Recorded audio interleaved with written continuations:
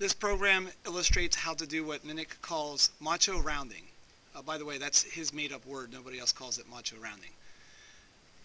If you have a variable, such as num, and it's a double, and you want to round it to the nearest whole number, well, we, we can allow the user to type in a number of their choice. Running this program, let's type in the number 13.2, and it does print out 13 because 13.2 should not round up. Let's follow the mathematical logic to understand why 13 printed out. 13.2 was stored in num and we added 0.5 to it. That turned it into 13.7. And when you put the word int in front of some mathematical expression like that with a set of parentheses, the word int chops off the decimal places. It takes the 13.7, which is really a double behind the scenes because it has that decimal point. It takes that 13.7 and chops off the 0.7.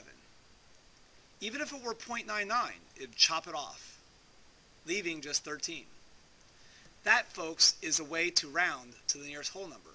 It worked for 13.2, rounding it down to 13. Let's run the program again and see if uh, we can get something that rounds up like it should. This time, I'm going to type in, uh, say, 13.8.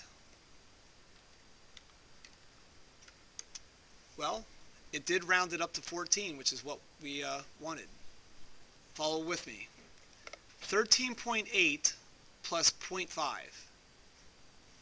That works out to 14.3 as a whole in that set of parentheses, 14.3. What, what do you get when you take 14.3 and you typecast it to an int? In other words, chop off the decimal places. We also call that truncating the decimal places. 14.3, sorry, we chop off the 0.3 and we're left with just 14. Showing you that the number 13.8 did correctly round up.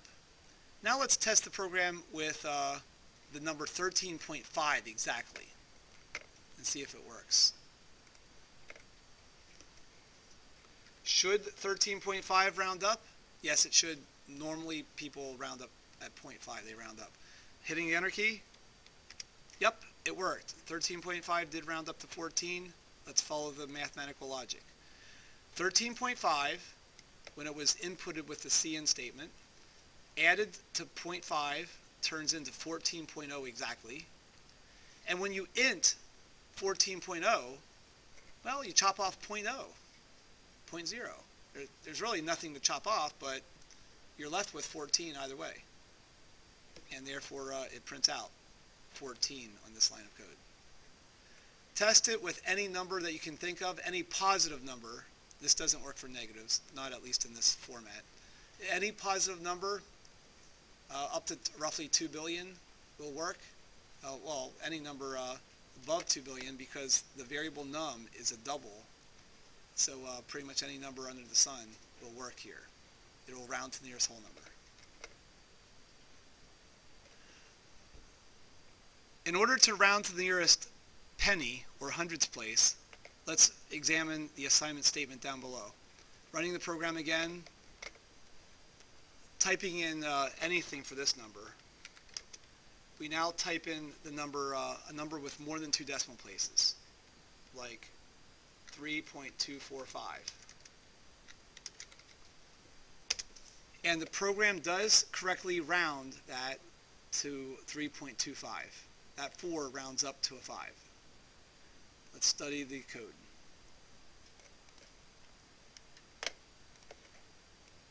Oh, messy stuff. We got to work from inside the parentheses out num is 3.245. When you multiply by 100, you're moving the decimal two places to the right. So 3.245, move that little decimal point two places to the right. Temporarily, you have on your hands 324.5. What's 324.5 plus 50 cents? Uh, $325 even. And then uh, this inner set of parentheses executes, which means that you are typecasting that to an int. Well, $325 even turned into a whole number is still 325. The last step in this statement is to divide by 100. So if you have the number 325 divided by 100, that means you need, to move the decimal point two places to the left. So imagine a 325 and you move the decimal two places to the left and you're left with 3.25.